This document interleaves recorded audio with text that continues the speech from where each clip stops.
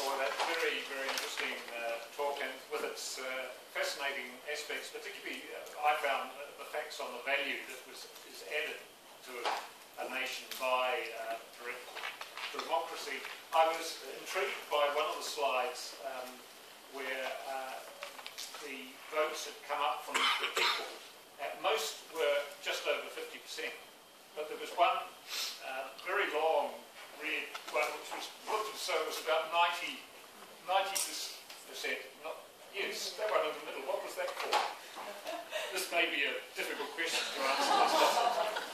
it's the years. Um, well, there's some other Swiss here. Oh. 91, probably. Around 1991. It is interesting that it is something that maybe almost that was 2001 when the debt brake was introduced. Was it the Alpine Initiative? Isn't it? The, Al- the Alpine Initiative? That, I think that was also very large majority for that. I don't know. And I should have started with a different question.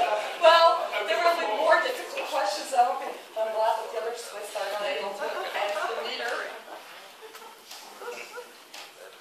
Yes, please. One of the experiences we've had in New Zealand with citizens writing referendum questions as the as aren't binding, but you get complicated questions which don't mean very much and people don't actually understand what the question means and you'd be asking to ask yes or no. Has there been any experience of in Switzerland? Yeah. Um, there are a number of rules obviously that apply. One of them is that um, um, there needs to be, how should I say that, um, it's only one topic that can be submitted to the people. And also, you can you can challenge the way the question is put to the people in the courts and think, hey, that question is not right, the way it's put, it's, it's, it's biased or it's not clear or whatever, it can be challenged in the courts. So um, it has to be, the questions have to be drafted very, very carefully. And, and clearly simple, only one question, only one topic. Otherwise, this would lead that um, um, an initiative, for example, is null and void. Is there any restriction on how frequently the same question would be brought up? I ask this in the context of the fact that when I came to New Zealand in 1966, at each parliamentary election, the same questions on the liquor law were asked, and they were not the questions that people wanted to be asked. But right through until when, sometime in the 1970s, the same question was asked, but it was the wrong question. But is there, a, you, you've covered the point of getting the question right, but if you're rejected, can you go back next year, or is there a, a, a, a set down period before which you can't answer it again? It No, again? you can go back. Year Um, after year. Oh, well, a bit, a bit difficult on finding all the people that would Yeah. sign up for that, but if you do find it, you can go back. Um, it was in 1986 that government thought it's time that Switzerland would join um, the United Nations, and um, people said, nope, we don't want to. But then, um, 2002, was even a citizens' initiative that demanded that Switzerland became a member of the United Nations. So it was the same question basically, do you want to become a member of the United Nations? Was put to the Swiss people again. And there, yes, we had an overwhelming majority finally, which means 10 years of United Nations membership this year.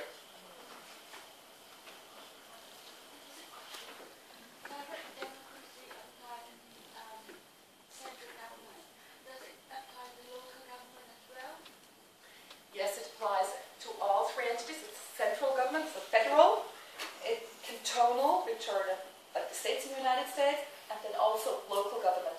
And very often there are more direct democratic rights, like for example, finance referendum that citizens can decide on the budget or an expenditure. You would find that on a local level, but you will not find it on a federal level. So there's even more direct democratic rights on a, on a local level or on a cantonal level.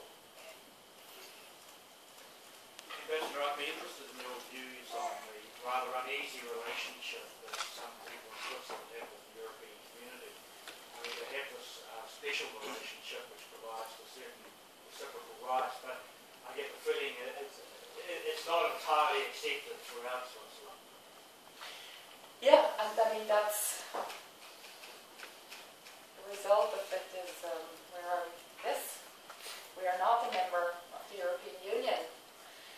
But saying that, I mean, in the heart of Europe, and this map shows it too, and there are hundreds of bilateral agreements that we have with the European Union. To a very, very large extent integrated in the, in, in the European um, landscape. But it's true that um, the Swiss citizens are not ready to become a member of the European Union. Um, it is said that many feel there is a lack of, um, of, of, of, um, uh, of, of, of direct democratic rights, that they would give up sovereignty. And if you look at that, I think it's, it's not only a thing that you will find um, in Switzerland, the stealing of loss of sovereignty. Um, it's just in Switzerland we can express it by saying, hey, we do not want to become a member of the European Union. That's probably, I mean, life or the world has become a global world, much more interconnected. Uh, we have to work together. It's not anymore the small entities that can decide on solving the problems that the world has. And so citizens, it frightens them. And um, because we have direct democratic rights, it's probably the result. But um,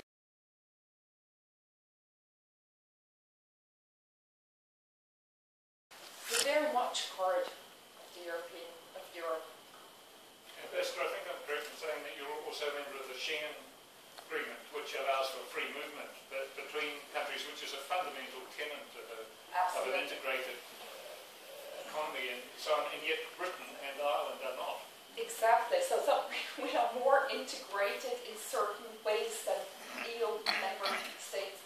It's um, it's the free movement of people. So if a Swiss citizen wants to take up work in another EU country, he can. Vice versa too.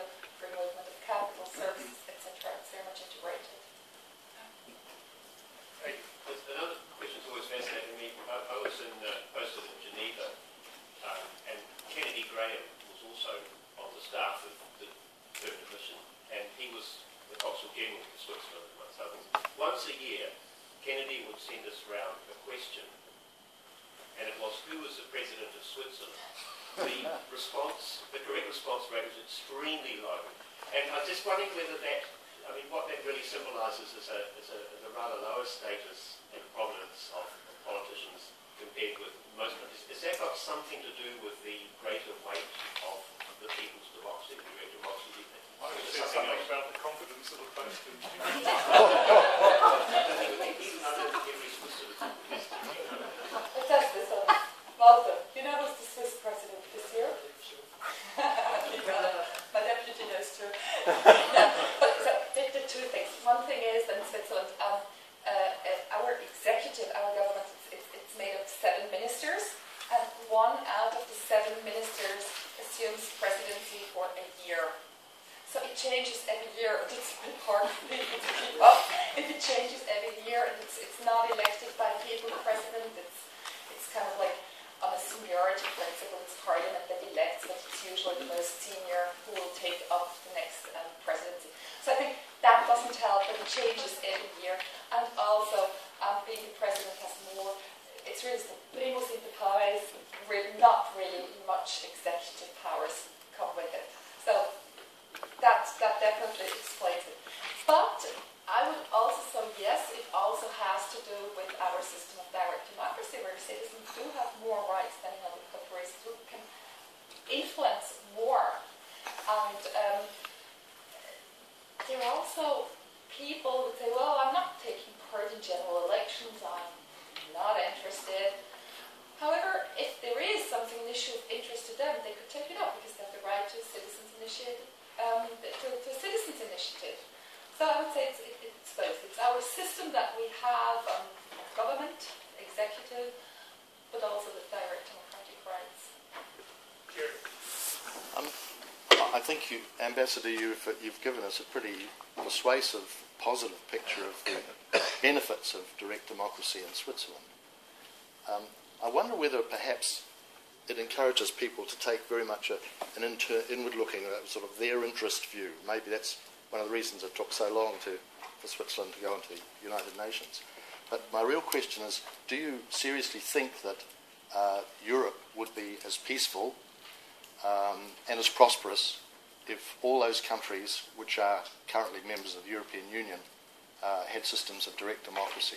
Because I rather suspect that while it is good for Switzerland, Switzerland has, if you like, the luxury of being a relatively small country, surrounded by a group of countries with a, a quite um,